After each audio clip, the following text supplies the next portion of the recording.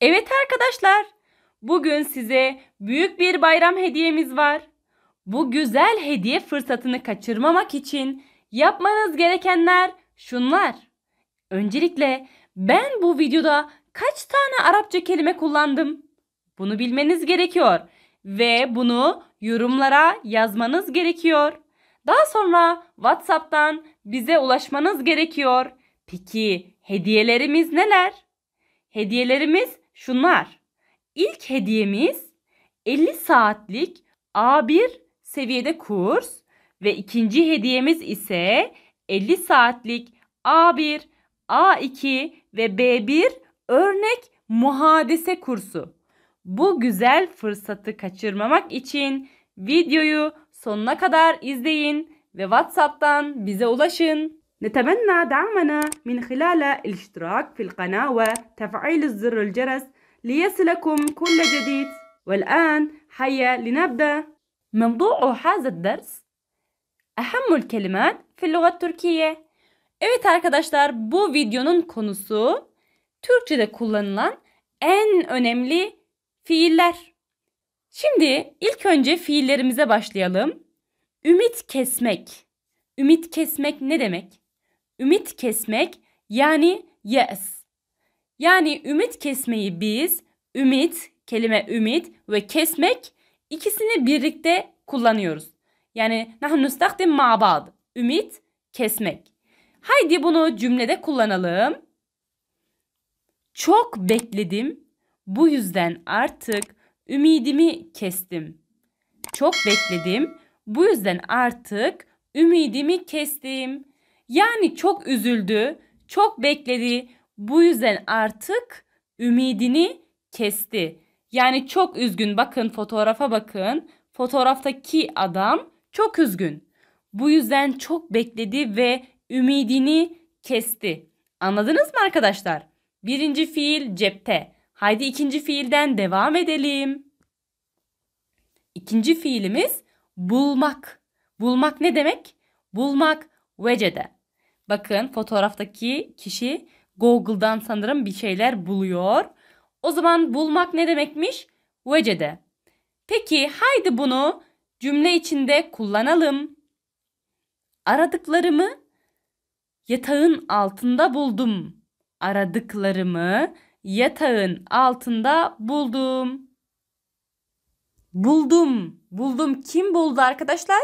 Buradaki özne ben. Buldum yani vecettu. Peki bu fiili de anladınız mı? Hel fehimtum hazel fiil eydan? İzen hayali nestemir. Söz vermek. Söz vermek. Bakın fotoğraftan bu fiili anlayabilirsiniz. Fotoğraftan bu fiili anlayabilirsiniz.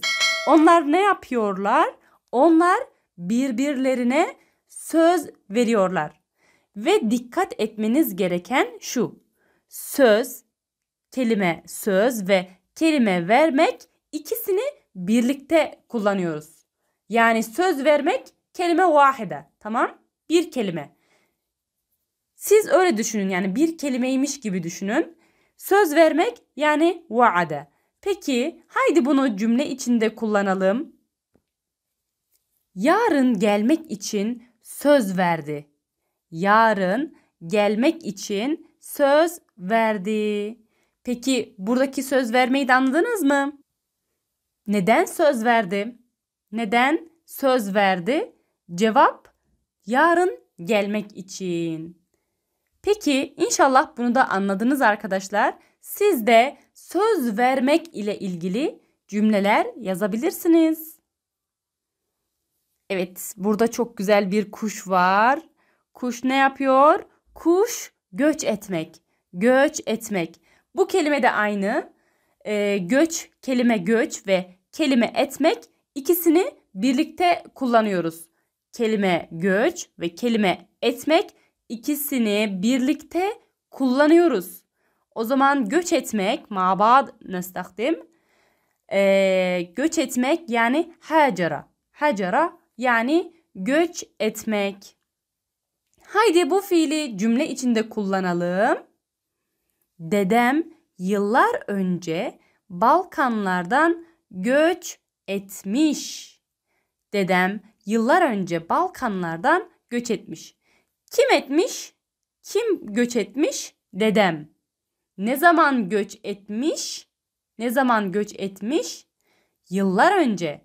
Min eyn yani nereden göç etmiş? Balkanlardan. Cevap Balkanlardan. Şimdi arkadaşlar göç etmek bu mastar. Göç etmiş bu duyulan geçmiş zaman. Duyulan geçmiş zaman. Yani nahnu nekuluha duyulan geç, geçmiş zaman. Göç etti, göç etti geçmiş zaman ama göç etmiş, mış, mış, e, duyulan geçmiş zaman. O zaman göç etmek fiilini anladınız mı? İnşallah anladınız. Devam ediyorum. Evet çocuğa bakın. Çocuk ne yapıyor? Çocuğa bakın. Çocuk ne yapıyor? Kaçmak. Kaçmak. Haraba. Kaçmak yani haraba. Peki devam ediyorum. Kaçmak kelimesini cümlede kullanalım. Mahkumlar cezaevinden gizlice kaçmış. Eyvah! Mahkumlar ne yapmış? Mahkumlar ne yapmış? Burada aynı şekilde mışmış arkadaşlar duyulan geçmiş zaman. Kaçmış. Kim kaçmış? Kim? Mahkumlar. Nereden kaçmış? Cezaevinden. Ve nasıl kaçmış? Keyif yani. Nasıl kaçmış? Gizlice kaçmış. Anladınız mı? Haydi devam. Bakın. Fiilimiz bakmak. Bakmak ne demekmiş? Bakmak nazara. Haydi tekrar et. Bakmak nazara. O zaman cümle içinde kullanalım. Komşular bana bakıyor. Komşular bana bakıyor. Kim? Kim bakıyor? Komşular.